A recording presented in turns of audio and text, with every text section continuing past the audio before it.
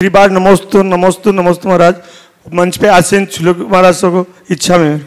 महाराज श्री सुनने में आता है कि पुण्य पुण्य से सुख, समृद्धि और पैसा कमाया जाता है। और पैसों से पुण्य कमाया जा सकता है। लेकिन देखने में आता है कि पैसों से पुण्य हम लोग नहीं कमा पा रहे तो पुण्य, पैसों से पुण्य कैसे कमाया जाए? कृपया मार्गदर्शन दें। बहुत अच्छा सवाल। पुण्य से सुख, समृद्धि और पैसा कमाया जाता है और पैसे से पुण्य कमाया जा सकता है। कमाया जाता है ऐसा कहना ठीक नहीं, कमाया जा सकता है। आपने पूछा है पैसों से पुण्य कैसे कमाए। पहले तो मैं आपके इस वाक्य को संशोधित करना चाहता हूँ। पुण्य से सुख समृद्धि हो सकती है, पुण्य से पैसा नहीं होता। पहली बात। पैसा पुण्य से नहीं आता, क्योंकि यदि आप पैसा को पुण्य से आया मानोगे तो जिसके पास जितना पैसा, उसको उतना पुण्यशाली मानना होगा, और जिसके पास जितना पैसे का अभाव हो, उसको उतना पुण्यहीन मानना होगा। मानना पड़ेगा कि नहीं मानना पड़ेगा? हाँ। फिर बताओ बाबा सब सेठियाँ सबसे ज़्यादा पुण्यात्मा होंगे और हम जैसे साधु सबसे पुण्यहीन। मानने को राज़ी हो क्या नहीं। बोलो हमारे पास तो एक धेला भी नहीं। तो पैसे को पुण्य का आधार किस बल पर मानोगे? महाराज आपने तो उलझन में डाल दिया। उल्टा गया। और उदाहरण भी ऐसा दिया कि हम कुछ बोल ही नहीं सकते। हमारे पास पैसा नहीं है पुण्य है कि नहीं? है। तो तुमने ये क्यों नियम बनाया कि पैसा पुण्य से आता है? पैसा पुण्य से नहीं आता। पुण्य केवल अनुकूल संयोग देता है। और अनुकूल संयोगों में जब पाप करते हो तब पैसा आता है। समझ गए? पुण्य तुम्हारे पास था, पुण्य हमारे पास भी है। तुमने अपने पुण्य का उपयोग अपने व्यवसाय में किया, सो पैसा कमा रहे हो। और हमने अपने पुण्य का उपयोग परमार्थ में किया, जो आत्मा को मोक्ष मार्ग में लगा रहे। यदि मैं तुम्हारी तरह लगता तो हो सकता किसी कंपनी का डायरेक्टर होता। पर हुआ क्या?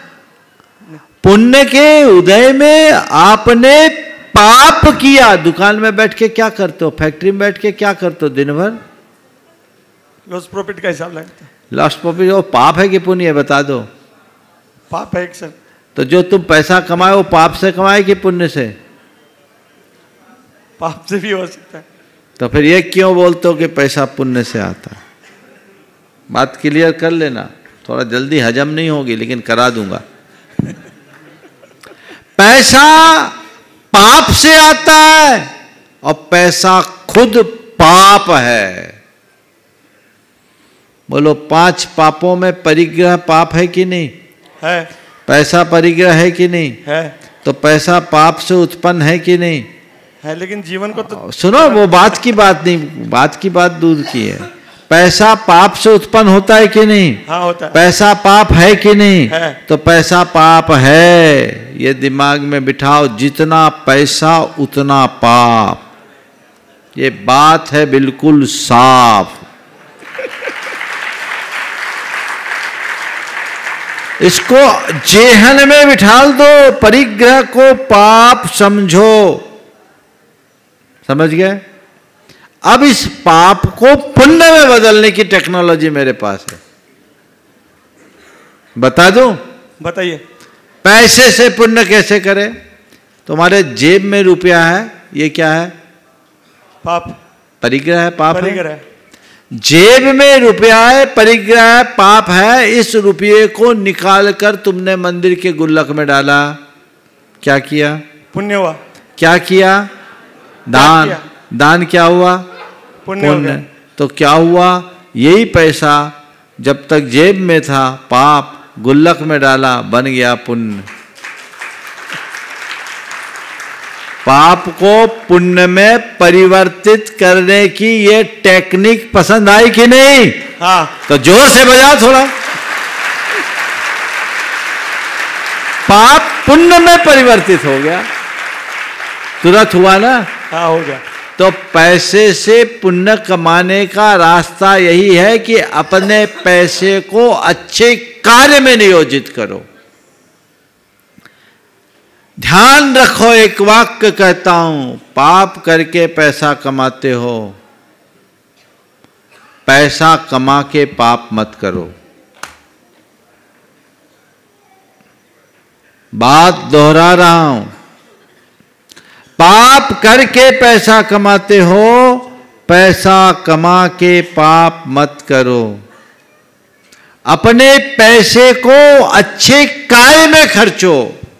भोग विलास में पैसा खर्चोगे और पाप बढ़ेगा। और परमार्थ में अपना पैसा लगाओगे, पुण्य बढ़ेगा। समझ गए? हाँ इसलिए पुण्य ने अनुकूल संयोग दिया। पुण्य पैसे में परंपरा से कारण है। अगर अनुकूल संयोग नहीं होता तो भिखारी बने रहते। तो पुण्य ने दिया। उस पुण्य के उदय में तुमने वैसा पुरुषार्थ उद्यम किया, सो पैसा कमाया।